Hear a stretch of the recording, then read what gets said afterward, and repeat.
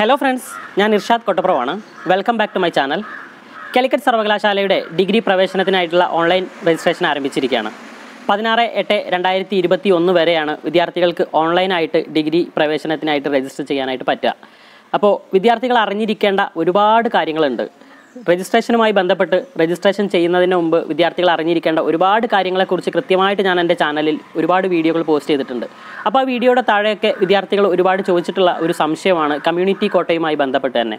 അപ്പോൾ കമ്മ്യൂണിറ്റി കോട്ടയുമായി ബന്ധപ്പെട്ടും ഞാൻ ഇതിന് മുമ്പ് ഒരുപാട് വീഡിയോകൾ ചെയ്തിട്ടുണ്ട്. എന്താണ് കമ്മ്യൂണിറ്റി കോട്ട? ആർക്കൊക്കെയാണ് അത് കിട്ടുക? എങ്ങനെയാണ് അത് കിട്ടുക? എന്നുള്ള കാര്യങ്ങളൊക്കെ ഞാൻ മുമ്പ് ഇതിന്റെ മുമ്പ് വളരെ ഡീറ്റെയിൽ ആയിട്ട് തന്നെ വീഡിയോ ചെയ്തിട്ടുണ്ട്.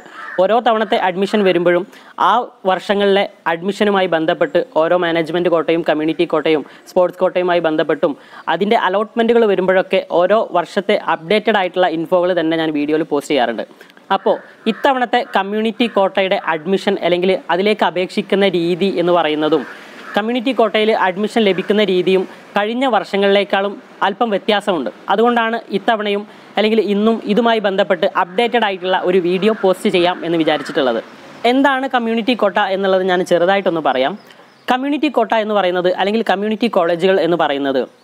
ഓരോ കമ്മ്യൂണിറ്റിയുടെയും വിദ്യാഭ്യാസപരമായ ഉന്നമനത്തിന് വേണ്ടിയിട്ട് ഓരോ കമ്മ്യൂണിറ്റികളും ആരംഭിക്കുന്ന കോളേജുകളിൽ അതത് കമ്മ്യൂണിറ്റിക്ക് ഒരു നിശ്ചിത ശതമാനം സീറ്റുകൾ റിസർവ് ചെയ്തു വെക്കുന്നതിനെയാണ് കമ്മ്യൂണിറ്റി കോട്ടകൾ എന്ന് പറയുന്നത്. ഇത് സാധാരണ O B C S C മറ്റു റിസർവേഷനുകളിൽ നിന്ന് വ്യത്യസ്തമായിട്ട് തന്നെ ഉണ്ടാവുന്ന ഒരു സീറ്റാണ് കമ്മ്യൂണിറ്റി കോട്ട എന്ന് പറയുന്നത്. ഇതുമായി ബന്ധപ്പെട്ട് വളരെ വിശദമായ ഒരു വീഡിയോ ഞാൻ ഇതിന് മുമ്പ് ചെയ്തിട്ടുണ്ട്. അപ്പോൾ കമ്മ്യൂണിറ്റി കോട്ട എന്താണ് എങ്ങനെയാണ് അത് ലഭിക്കുന്നത് എന്നുള്ളതൊക്കെ വിശദമായിട്ട് തന്നെ ചെയ്തിട്ടുണ്ട്. അപ്പോൾ ഇത്തവണ കമ്മ്യൂണിറ്റി കോട്ടയിലേക്ക് അപേക്ഷിക്കുന്ന രീതിയിൽ അല്പം വ്യത്യാസമുണ്ട്. അതാണ് ഞാൻ ഈ വീഡിയോയിലൂടെ പറയാൻ പോകുന്നത്. കഴിഞ്ഞ തവണയൊക്കെ കമ്മ്യൂണിറ്റി കോട്ട കോളേജുകളിലേക്ക് സെപ്പറേറ്റ് ആയിട്ട് തന്നെ അഞ്ച് കോളേജുകളിലേക്ക് നമുക്ക് കൊടുക്കാനുള്ള അവസരം ഉണ്ടായിരുന്നു.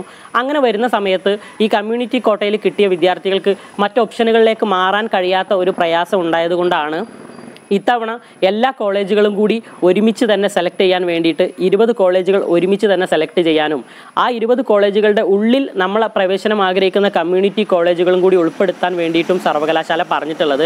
അങ്ങനെ വരുന്ന സമയത്ത് വിദ്യാർത്ഥികൾക്ക് കമ്മ്യൂണിറ്റി കോളേജിൽ ഏതെങ്കിലും ഒരു കോളേജിൽ സീറ്റ് കിട്ടിയിട്ടുണ്ടെങ്കിൽ അല്ലെങ്കിൽ കമ്മ്യൂണിറ്റി കോട്ടയിലാണ് ഏതെങ്കിലും ഒരു കോളേജിൽ സീറ്റ് കിട്ടിയത് എന്നുണ്ടെങ്കിലും ആ കുട്ടിക്ക് അവരുടെ ഹയർ ഓപ്ഷൻ നിലനിൽക്കുന്നുണ്ട് എന്നുണ്ടെങ്കിൽ അടുത്ത അലോട്ട്മെന്റ് വരുന്ന സമയത്ത് ജനറൽ മെറിറ്റിൽ മറ്റൊരു കോളേജിൽ അവസരം കിട്ടിയാൽ അവർക്ക് മാറാനായിട്ട് പറ്റും. അതാണ് ഇത്തവണ എല്ലാ കമ്മ്യൂണിറ്റി കോളേജുകളും ജനറൽ മെറിറ്റും എല്ലാ കോളേജുകളും കൂടി ഒരുമിച്ച് അപേക്ഷിക്കുന്നതുകൊണ്ട് വിദ്യാർത്ഥികൾക്കുള്ള ഒരു ഗുണം.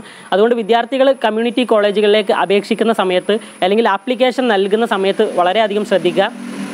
അപേക്ഷയുടെ കൂട്ടത്തിൽ നിങ്ങൾക്ക് കമ്മ്യൂണിറ്റി റിസർവേഷൻ ആവശ്യമുണ്ടോ എന്ന് ചോദിക്കുന്നുണ്ട്. ആ കമ്മ്യൂണിറ്റി റിസർവേഷൻ ആവശ്യമുണ്ടോ എന്ന് ചോദിക്കുന്ന സ്ഥലത്ത് ടിക്ക് ചെയ്യാൻ കമ്മ്യൂണിറ്റി കോട്ടയിൽ പ്രവേശനം ആഗ്രഹിക്കുന്ന വിദ്യാർത്ഥികൾ മറക്കരുത്. അതുപോലെ തന്നെ കോളേജുകൾ ഉൾപ്പെടുത്തുന്ന കൂട്ടത്തിൽ നമ്മളുടെ കമ്മ്യൂണിറ്റി ഏതാണോ ആ കമ്മ്യൂണിറ്റിക്ക് ഉള്ള കോളേജുകൾ നമ്മൾ പോകാൻ ആഗ്രഹിക്കുന്ന കോളേജുകൾ ഏതൊക്കെ ഉണ്ടോ എന്നുള്ളത് ആദ്യമേ മനസ്സിലാക്കണം. അതെങ്ങനെയാണ് മനസ്സിലാക്കുക എന്നുള്ളത് ഞാൻ ഇതിന്റെ മുമ്പത്തെ വീഡിയോയിലൊക്കെ കാണിച്ചിട്ടുണ്ട്.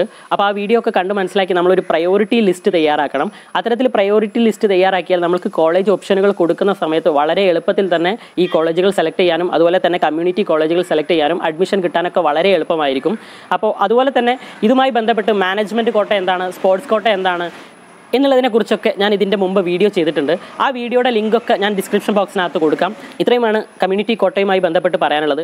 നിങ്ങളെ ഡിഗ്രി അഡ്മിഷനുമായി ബന്ധപ്പെട്ടും കേരളത്തിലെ പ്രധാനപ്പെട്ട എല്ലാ സർവകലാശാലകളുടെയും നോട്ടിഫിക്കേഷൻ അപ്ഡേഷൻ അഡ്മിഷനുമായി ബന്ധപ്പെട്ട എല്ലാ കാര്യങ്ങളും കൃത്യമായിട്ട് പ്രൊവൈഡ് ചെയ്യുന്ന ഒരു ചാനലാണ് എന്റെ ഈ ചാനൽ ഈ ചാനൽ നിങ്ങൾ ആദ്യമായിട്ട് കാണുന്നവരാണെങ്കിൽ ചാനൽ ഒന്ന് സബ്സ്ക്രൈബ് ചെയ്യുക.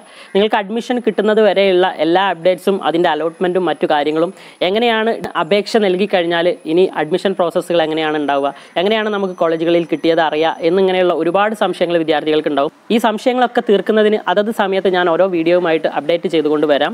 ഈ ചാനൽ നിങ്ങൾ സബ്സ്ക്രൈബ് ചെയ്തിട്ടില്ലെങ്കിൽ ചാനൽ ഒന്ന് സബ്സ്ക്രൈബ് ചെയ്യുക അതുപോലെ തന്നെ ആ ബെല്ലൈക്കണം ഒന്ന് എനേബിൾ ചെയ്യുക. എന്നാൽ ഞാൻ ഇത്തരത്തിലുള്ള പുതിയ പുതിയ വീഡിയോകൾ അപ്ലോഡ് ചെയ്യുന്ന സമയത്ത് നിങ്ങൾക്ക് നോട്ടിഫിക്കേഷൻ ആയിട്ട് ലഭിക്കുന്നതായിരിക്കും. ഈ വീഡിയോ നിങ്ങൾക്ക് ഇഷ്ടമായെങ്കിൽ തീർച്ചയായിട്ടും നിങ്ങൾ ലൈക്ക് ചെയ്യുക. അതുപോലെ നിങ്ങളുടെ കൂട്ടുകാർക്കൊക്കെ ഈ വീഡിയോ നിങ്ങളൊന്ന് ഷെയർ ചെയ്ത് കൊടുക്കുക. അതുപോലെ എന്തെങ്കിലും സംശയങ്ങൾ ഉണ്ടെങ്കിൽ കമന്റായിട്ട് ചോദിക്കാം താങ്ക്